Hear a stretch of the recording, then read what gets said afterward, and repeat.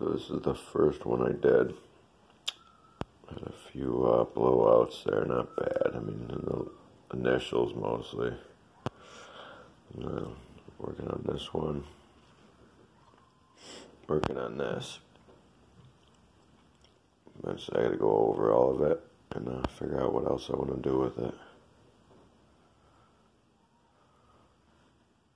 And last, I did this one. Came out pretty good. That.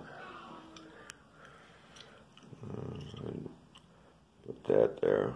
As underneath is an old tattoo that I tried doing when I was uh, like 15 years old.